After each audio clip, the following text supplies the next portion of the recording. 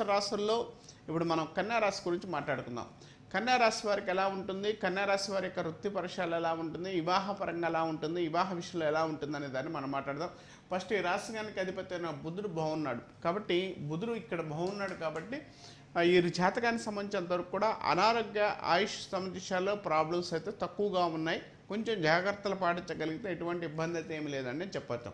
అష్టమాధిపతి అయిన వాడు సప్నంలో కూర్చున్నాడు కాబట్టి హెల్త్ విషయంలో డిస్టర్బెన్స్ ఉన్నా కూడా ఏదో విధంగా రికవరీ అవ్వడానికి అవకాశం కలిగి ఉంటారు. రికవరీ సంబంధించిన విషయాల్లో ఎటువంటి ప్రాబ్లమ్స్ అయితే లేదు. కొంత అనుకూలంగా ఉండడానికి అవకాశం కలిగి ఉంటారని చెప్పుకోవచ్చు.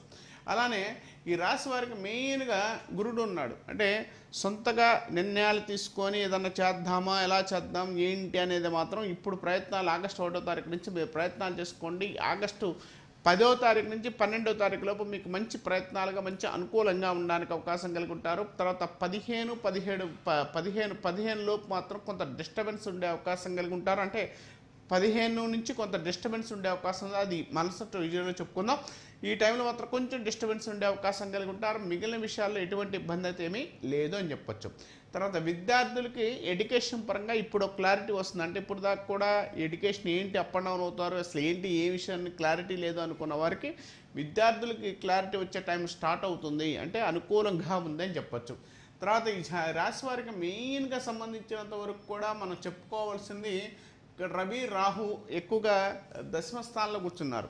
ఈ రవి రాహు కూర్చోవడం వల్ల ఏంటంటే వృత్తిపర విషయాల్లో తెలియని తలకానొప్పులు వచ్చే అవకాశం కలిగి ఉంటారు. అంటే కొత్త కొత్త వ్యక్తులకు కానీ కొత్త కొత్త విషయాల్లో కానీ కొత్త కొత్త వ్యక్తులతో డిస్టర్బెన్స్ మైండ్ ఎక్కువ ఉండే అవకాశం కలిగి ఉంటారు.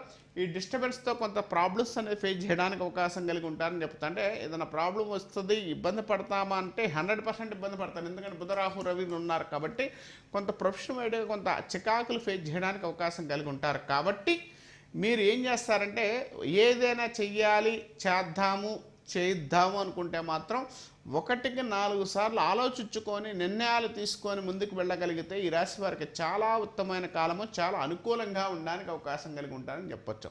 తర్వాత ఈ రాశి వారికి మెయిన్గా సంబంధించినంత వరకు కూడా పంచమ శని ఉన్నాడు. సంతాన విషయంలో కొంత కేర్ టేకర్ అవసరం. సంతానపరంగా హెల్త్ విషయంలో కానీ హెల్త్ విషయంలో కొంత జాగ్రత్తలు పాటించగలిగితే ఈ రాశి వారు చాలా బాగుంటుందని చెప్పొచ్చు. ఈ రాశి వారి స్త్రీలకు మాత్రం ఏదో ఒక టెన్షన్ కొత్త కొత్త టెన్షన్స్ అనేవి మీకు పుడుతుంటాయి. అంటే కొత్త కొత్త టెన్షన్స్ కొత్త కొత్త బాధలు కొత్త కొత్త ఇబ్బందులు అనేది మీకు వస్తుంటాయి కానీ ఈ రాశి వారికి ఎన్ని బాధలు వచ్చి ఇన్ని ఇబ్బందులు పడుతున్నా కూడా ఏదో విధంగా తప్పించుకోగలుగుతారు. అంటే ఆ ప్రాబ్లమ్స్ నుంచి తప్పించుకోవడానికి తప్పించుకొని ముందుకు వెళ్ళడానికి అవకాశం కలిగి ఉంటారని చెప్పుకోవచ్చు. తర్వాత ఈ రాశి వారికి మెయిన్గా ఎక్కడ బాగాలేదంటే శనికి కొంచెం కొంచెం పంచమ స్థానం శని ఉండడం వల్ల నిర్ణయాలు కానీ అష్టమ నిర్ణయాల విషయంలో కొంత చికాకులు ఫేస్ చేసుకునే అవకాశం ఉంది. చికాకుల నుంచి తప్పుకోవడానికి కూడా అవకాశం ఉంటుందని చెప్పవచ్చు. ఇలాంటి మరిన్ని సరికొత్త వీడియోల కోసం ఛానల్ని సబ్స్క్రైబ్ చేయండి. అలాగే ఇక్కడ ఉండే ఈ గంట సింబల్ని క్లిక్ చేయండి.